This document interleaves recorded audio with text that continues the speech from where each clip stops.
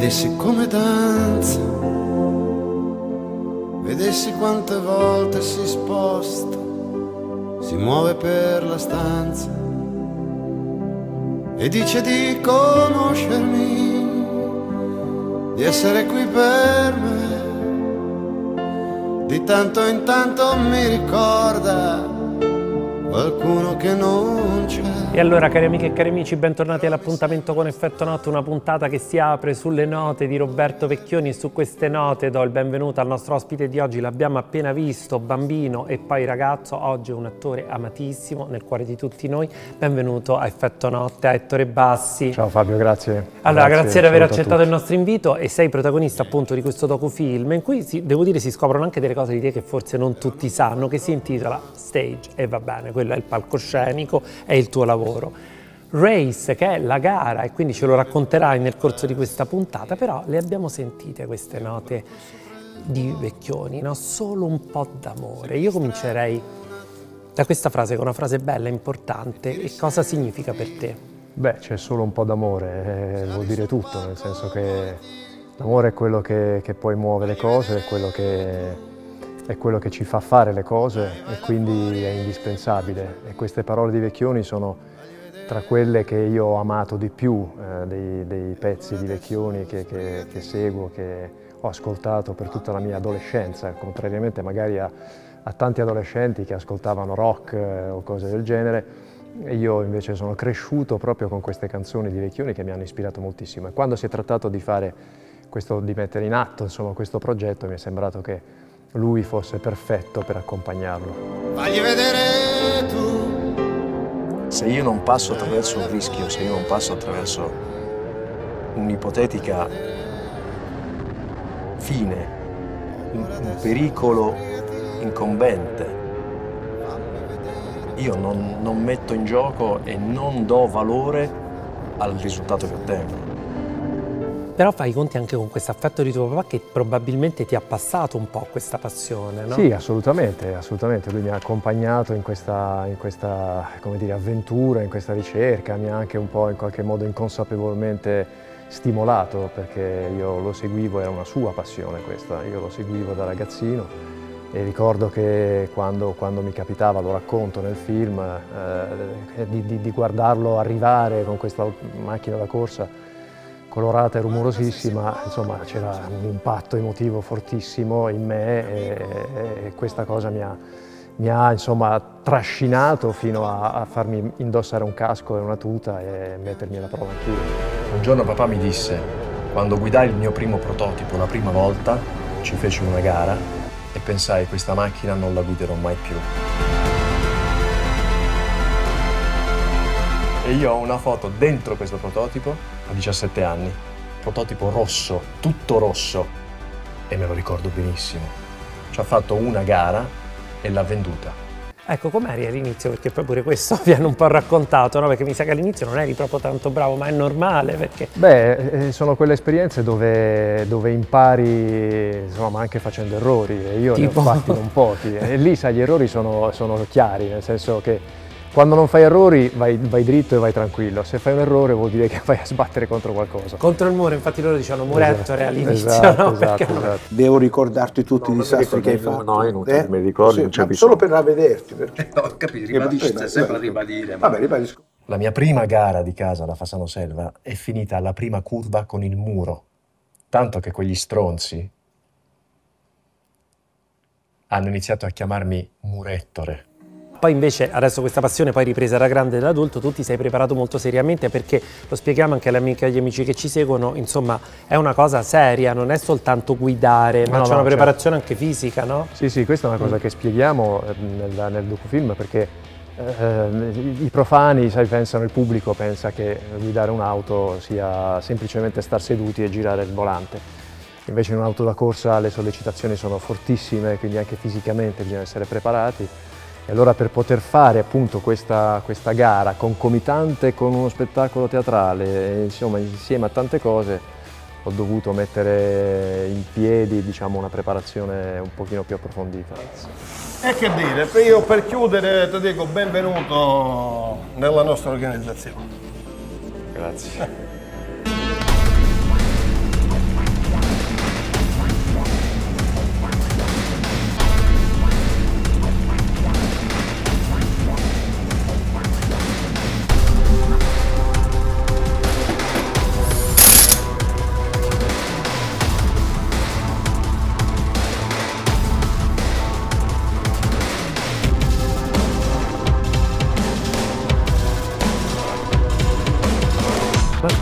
Tuo lavoro d'attore, perché verrebbe a dire che c'entra, invece c'entra molto, perché sembrerebbero proprio mondi diversissimi. Guarda, questo è stato l'aspetto che mi ha mh, stimolato a raccontare proprio questa sfida che è arrivata mh, per caso, tutta insieme. Eh, cioè, un giorno io mi sono ritrovato dentro l'abitacolo della, della, della macchina da corsa sulla linea di partenza un po' di anni fa e mi sono sentito esattamente come quando dietro al sipario sei pronto per cominciare uno spettacolo teatrale. Oppure dietro il chuck eh, sei pronto per iniziare una scena importante da fare. E, e, e ho sentito proprio che erano coinvolte le stesse emozioni e quindi poi che chiedevano le stesse capacità o, o la stessa preparazione, diciamo una disciplina che racchiudeva delle, delle, degli skills, no? delle, delle qualità che si sposano per entrambe le cose. Ci vuole concentrazione, ci vuole memoria, ci vuole attenzione, ci vuole rilassamento durante la performance. Prima. Seconda, terza, quarta, quinta. Forse la sesta non riesco a metterla qui. Cartello. Quarta, terza, seconda. Prima. Tornante. C'è diciamo, un cerchio che si chiude, no? quindi questa, questo insieme di cose sono unite tutte quante da un filo comune. Insomma c'è moltissimo di te. Allora adesso ci fermiamo un momento, Ettore, qualche minuto di pubblicità e poi torniamo qui a Effetto Notte, ci racconterai la tua carriera, i tuoi impegni e non parleremo soltanto di questo. Chi è più bravo tra voi due? Lui. Ma credo non esiste Lui. discorso. Il cinema di Troisi per me era bello perché aveva la forma della vita. Per te l'amore che cos'è? L'amore? Esasperazione. Massimo è sempre rimasto vivo nell'immaginario collettivo perché era una grande anima e un grande artista. Ma quanti siete? Uno! Io sono entrato sto uscendo, no?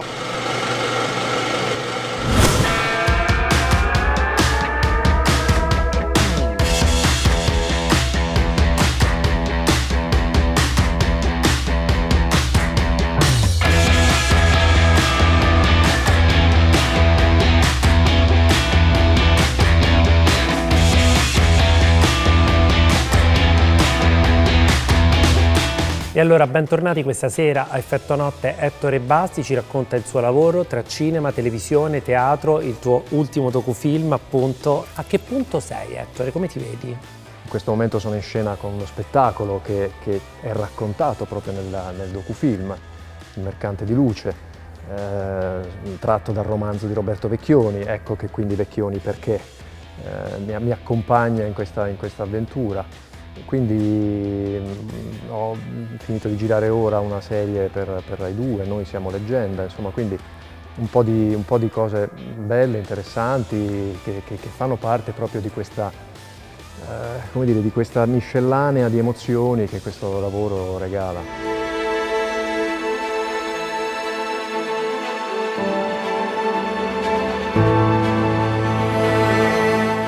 L'idea di papà mi ha sempre dato quel sostegno che un po' mi portava anche tranquillità. A proposito, in questo docufilm tu racconti anche un po' insomma, il tuo rapporto con tuo papà, forse mh, da ragazzino non ci andavi tanto d'accordo, ma quando hai deciso, mi sembra prestino, di fare l'attore, che ti hanno detto a casa? Bah, in realtà loro hanno, diciamo, sono rimasti un po' spettatori e un po' eh, titubanti, però con il tempo, dopo i primi, dire, i primi i primi movimenti che lasciavano intendere che magari la cosa in qualche modo stava prendendo spazio, eh, mio padre è stato un grande fan, è stato un mio grande fan. E mamma insomma più riservata, rimasta un po' più, un po più in disparte, però non mi hanno mai scoraggiato. Ecco.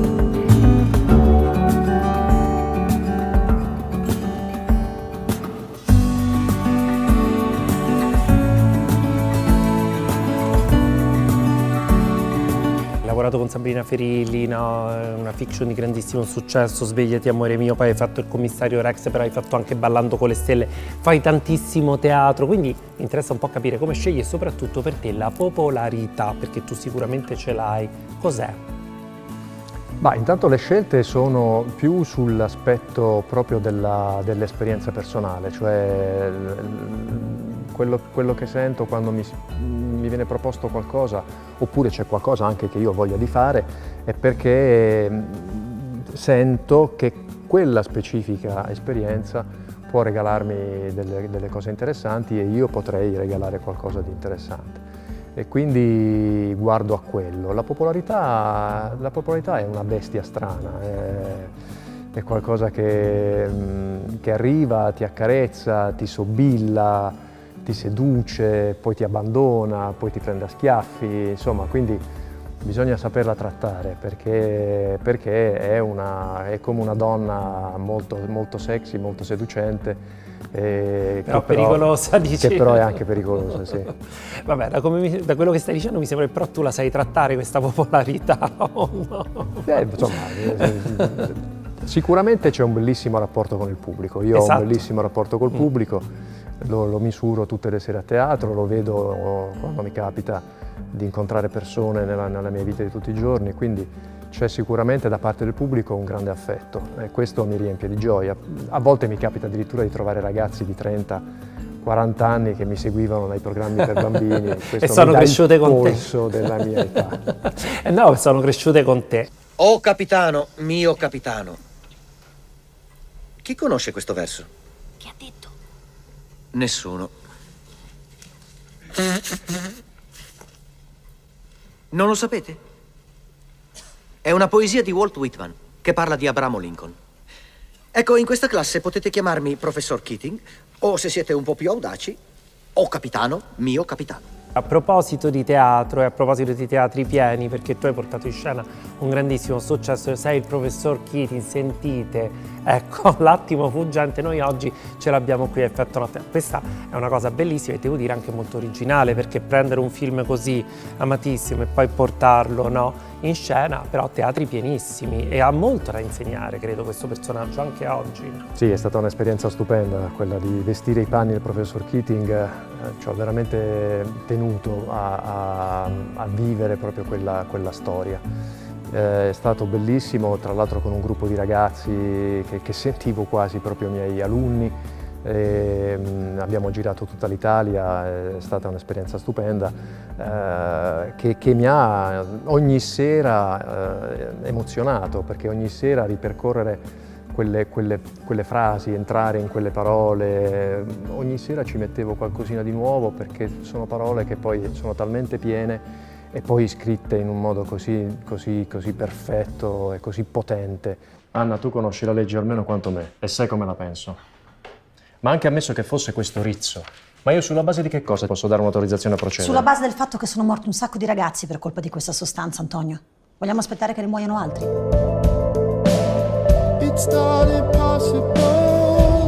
E poi c'è la Porta Rossa, anche questo fenomeno di culto, una serie amatissima. Un personaggio che ho amato, anche se è un personaggio eh, per certi versi un po' fuori dal, dalle corde no? che abitualmente ho eh, toccato, eh, però è stato, è stato, bellissimo perché è poi una serie girata in, in modo così, così moderno, un linguaggio, un linguaggio nuovo. Di qualità, no?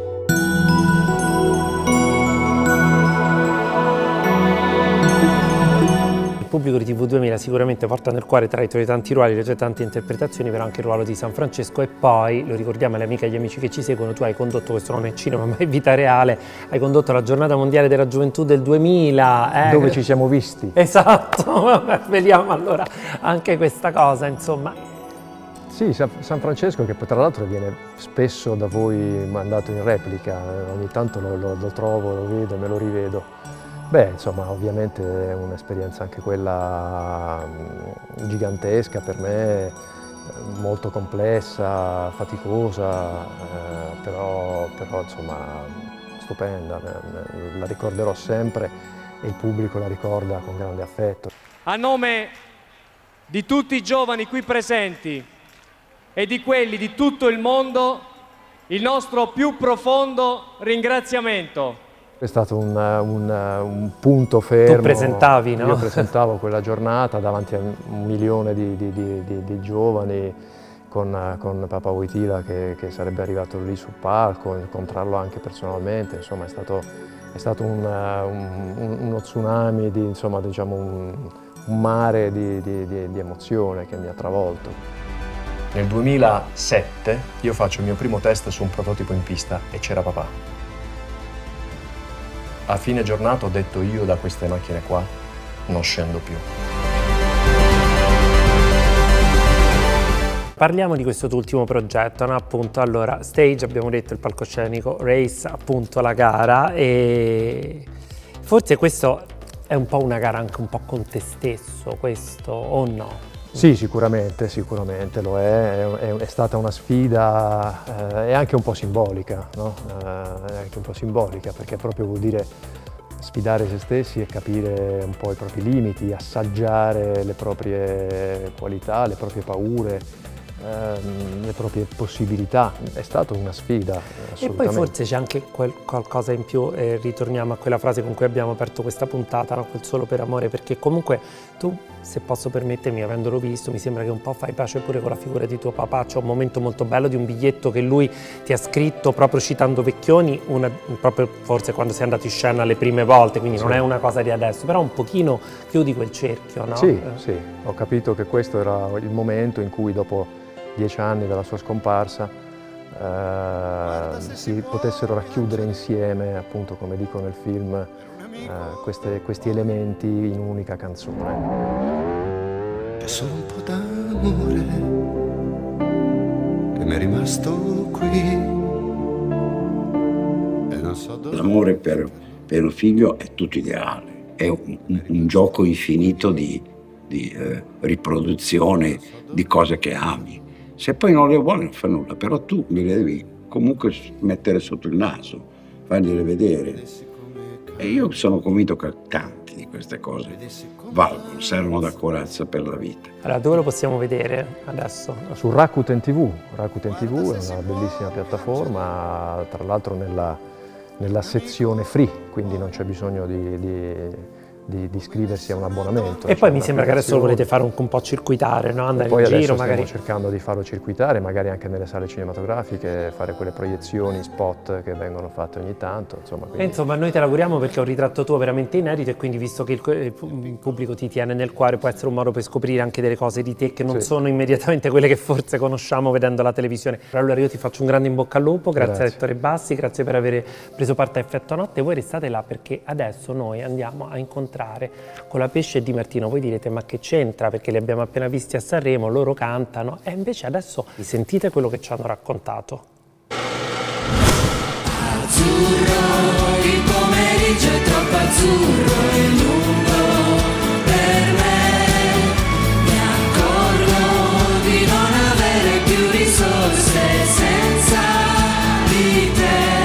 te. Abbiamo appena visto a Sanremo con Carla Bruni, vi siete ripresi? Eh, dall'emozione? Siamo, abbiamo fatto una lavatrice, eh, stiamo volando e siamo, e siamo arrivati qui per, la, per, questa intervista, quindi ancora siamo in piena corsa. Bagnati, sì. un po' bagnati. Siamo molto felici però. Benvenuto all'aeroporto di Palermo. Lorenzo, come mai sei vestito da Bee Sono felice di rivederti. Ma ti pare che questo si fa vivo dopo tre anni o sta minchiata del libro? Lorenzo amore, sono 90k, no tax.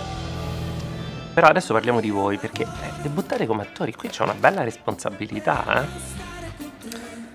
Sì, c'è una bella responsabilità, debuttiamo come, debuttiamo come un po' come noi stessi in realtà, non, non abbiamo fatto, non ho lottato con un orso, ho studiato recitazione per, per sei anni, ma più o meno interpreto eh, me stesso e Antonio uguale, soltanto che abbiamo estremizzato de- delle nostre peculiarità, dei nostri caratteri, del- delle nostre brutture, delle nostre ossessioni, le abbiamo portate al massimo.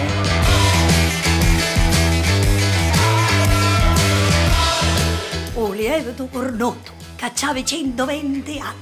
Ma non scade. A tua testa scade.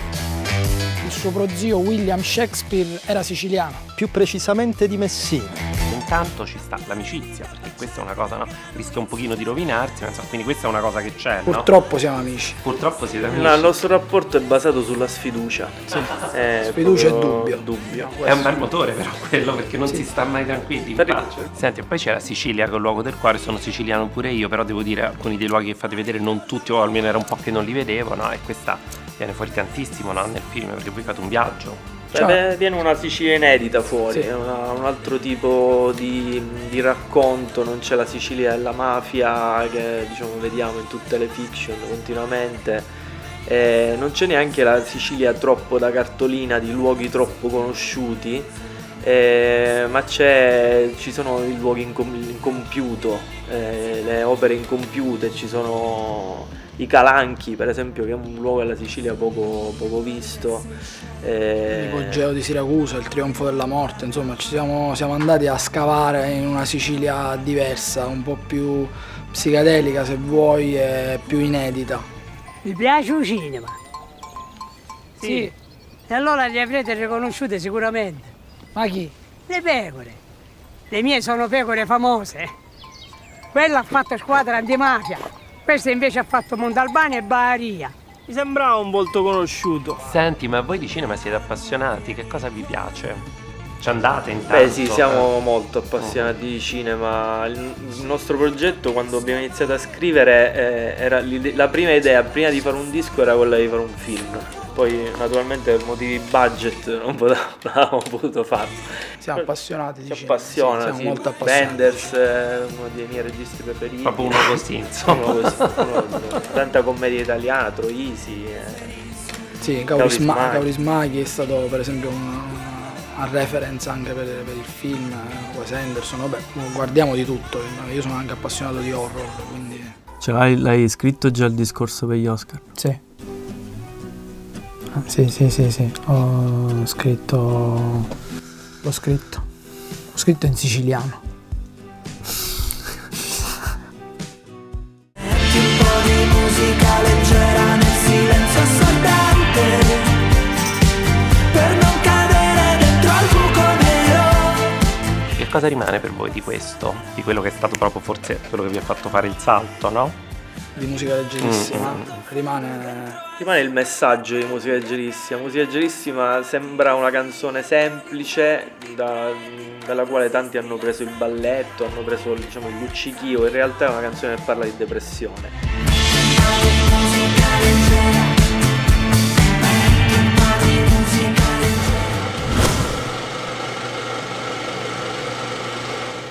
Cari amiche e cari amici, ci salutiamo sempre con il cinema. Il 19 febbraio del 1953 nasceva Massimo Troisi, quindi avrebbe compiuto in questi giorni 70 anni. Il suo cinema resta, Troisi continua ad ispirare il pubblico, ma anche un regista come Mario Martone che proprio in queste ore presenta a Berlino il docufilm che dedica a Massimo Troisi e che ha un titolo che è tutto un programma. Laggiù qualcuno mi ama. Noi siamo andati a incontrarlo e Effetto Notte torna la prossima settimana, sempre subito dopo il grande cinema di TV 2000. Ah, ma allora non hai capito niente. Allora, da quando stiamo insieme io ho sempre parlato al vento. Ma no, che c'è? Cioè, io sto dicendo una cosa a me. Cioè, io sto cercando di far capire che non, non mi posso liberare. Sta... Cioè, secondo me voi donne siete più... Noi donne, tanto lo sapevo. Cosa noi donne? Calma però, eh, cioè, ha detto solo voi donne siete più. Eh, no, non mi fai continuare a parlare, già fai così. Eh, Allora, allora si diceva voi donne siete meno, che facciamo? Mangiare? E so cercare di esprimere, spiegare, non lo so. Un tema centrale del cinema di Massimo Troisi è questo, è questo discorso sul- sull'amore, cioè questo, su questo amore continuamente cercato. Se devo essere sincera. No. Perché mica puoi dire pure una bugia, cioè siamo tutti e due, gli- se ne- ecco, non lo so, cioè dico testo. È un amore che, che compare, scompare, sfugge, diciamo, no? che, che- che lo tormenta. Ecco, allora questo che cos'è se non qualcosa, se non una condizione esistenziale? Perché si parla di amore, ma si parla proprio anche di qualcosa di, di profondo, insomma, no? Cioè che un... eh, qualco- cioè non ti accontenti, no? non, non riesci a trovare una forma definitiva, quindi diciamo la tua vita è sempre in, in viaggio, no? è sempre alla ricerca di qualche cosa, insomma c'era qualcosa secondo me di, di molto bello e molto profondo. Ma io lo scherzo lo reggo, è il Mario che sta male, non legge lo scherzo. Andare in giro vestito così, imbecille. Vedendo questo film eh, non ci resta che piangere. Eh, eh, ho detto, si sono divertiti talmente tanto che c'è un momento in cui Massimo gli è scappata la risata ed effettivamente c'è la scena in cui loro arrivano nella locanda e si mettono uno di fronte all'altro di notte e sentono i rumori in cui gli scappa proprio la risata perché lui fa così e subito, da grande maestro che era, eh, ritorna a essere serio. Però ecco, anche lì Senti, se mi posso permettere di chiederlo, c'è un tuo film preferito, ma al di là di preferito, a cui magari invece associ un ricordo un'emozione che mi piace di più? Eh, in realtà eh, direi di no, proprio perché diciamo, nel documentario io ho voluto mettere in luce eh, l- diciamo, la- l'omogeneità, la compattezza diciamo, del suo discorso cinematografico, quindi preferisco diciamo, non segnalare un film rispetto a un altro, però certo posso dire che questo- fare questo documentario mi ha permesso di scoprire il postino, perché era un film che avevo visto tra le lacrime quando era uscito e quindi in realtà era come se non l'avessi visto, non ne avevo una vera, eh, una vera idea. Insomma, ecco, rivederlo dopo tanti anni e riuscire a collocarlo invece all'interno del suo percorso d'autore mi ha, diciamo, è stata una scoperta. Ragazzi, io vado incontro alla vita, come tutti quanti.